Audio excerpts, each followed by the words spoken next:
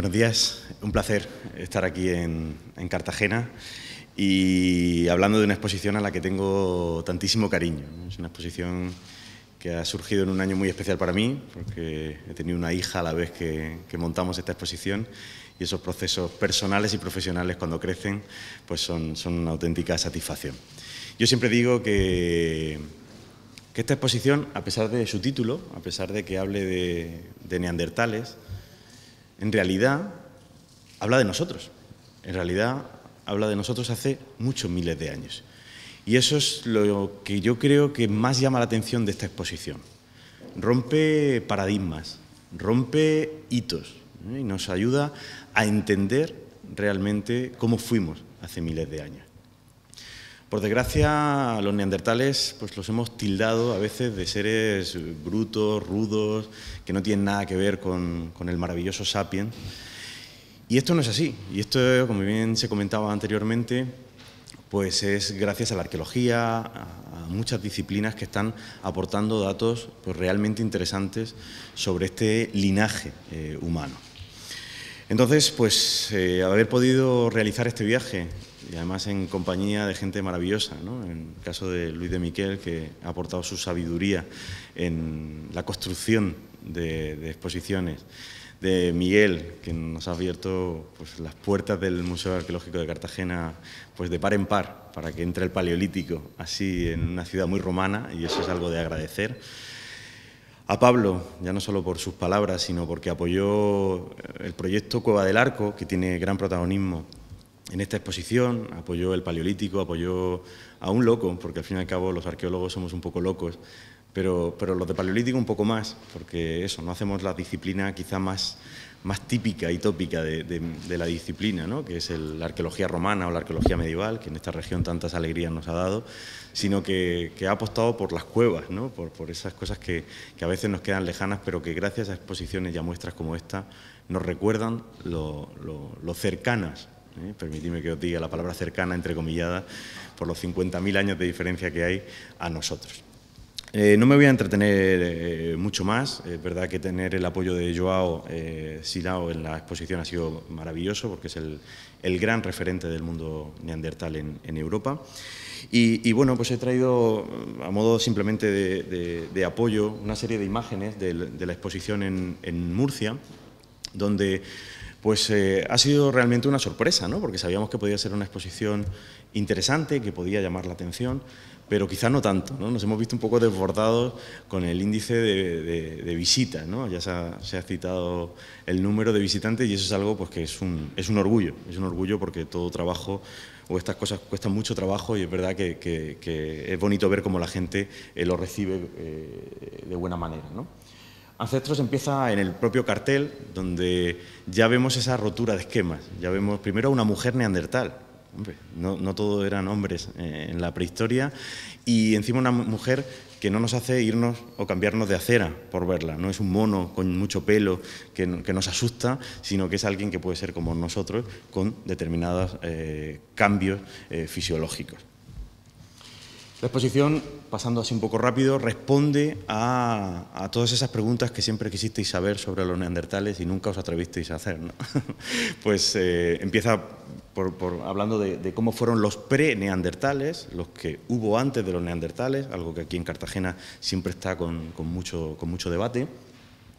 Luego avanzamos en la exposición sabiendo quiénes fueron ellos gracias a la historiografía, primero la historiografía eh, internacional, porque se llaman neandertales y todas las cosas que no voy a desvelar, no voy a hacer spoiler para que vayáis a ver la exposición, y sobre todo la historiografía local, la regional, la de aquí, porque aquí, a pesar de lo que he dicho antes, de no ser una disciplina eh, de las más eh, estudiadas, pues tenemos grandes hitos que han dado la vuelta al mundo, y esto es auténticamente verdad. No estoy aquí barriendo para casa, aunque esto sea muy de arqueólogo, lo de barrer, pero realmente eh, hemos, eh, somos conocidos a nivel mundial por esta disciplina y aquí a veces no lo sabemos y eso yo creo que era una cosa importante de saber a través de esta exposición.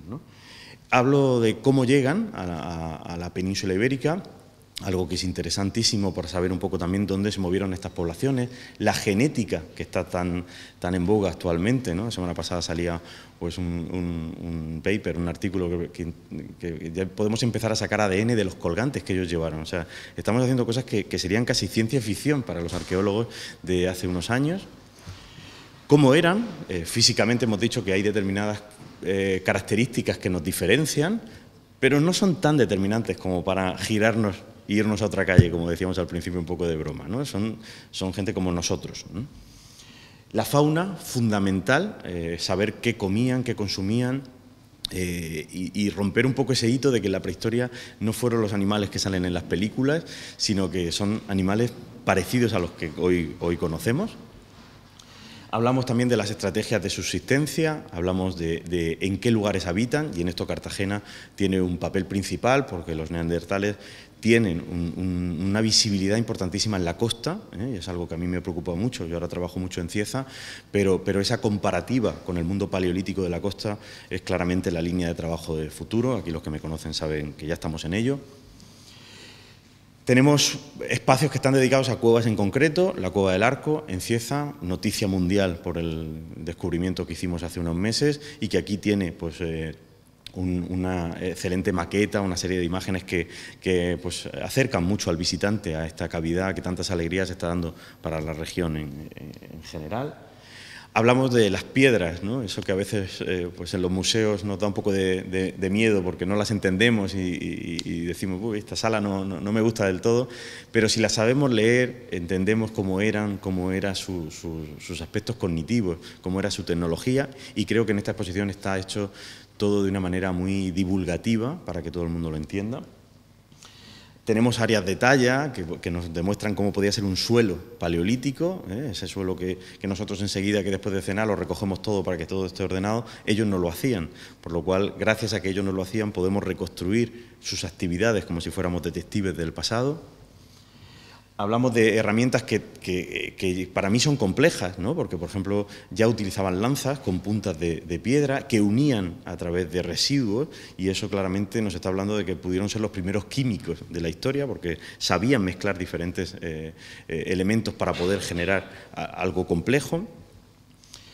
Hablamos de, toda esa pues, industria, ¿no? de todas esas herramientas, de esos como yo digo a veces en, los coles, en los institutos, de esos cuchillos, tenedores y cucharas de la, de la época, pero que realmente nos dicen pues, muchísima información. Quizá para alguien pues, ajeno sean simples piedras con algún retoque, pero para nosotros son la fuente escrita, ya que aquí no tenemos textos que nos dicen qué pasó, pues eh, si sabemos leerlo y preguntarle, nos ayuda muchísimo a entender cómo fuimos los neandertales.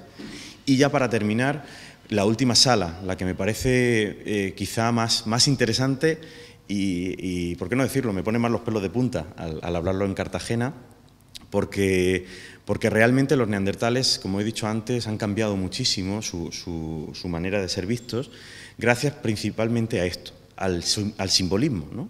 a esa capacidad que solo atribuíamos a los sapiens, a los humanos modernos.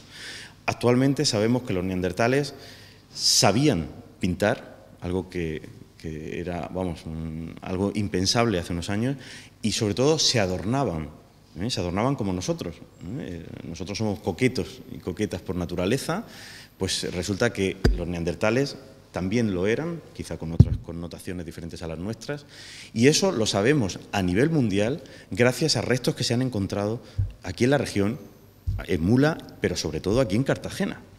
Y por eso tenemos que viajar hasta la cueva de los aviones, una cueva que ha dado muchísimas alegrías, como vuelvo a repetir y no me canso de decir, al Paleolítico Mundial, porque se encontraron una serie de conchas perforadas y con restos de pigmento que demostraron claramente este simbolismo asociado a los neandertales. Por lo cual, esta exposición pues, creo que nos ayuda a entender cómo fuimos, a saber cuáles fueron las pocas diferencias que tenemos, pero sobre todo cuáles fueron las semejanzas con este linaje que fuimos hace unos 50.000 años. Muchísimas gracias a todos los que habéis eh, participado en esta aventura. Para mí todos estos trabajos son realmente una aventura y a toda la gente que apoya pues, estos proyectos que tienen que ver con nuestro pasado eh, más remoto. Muchísimas gracias.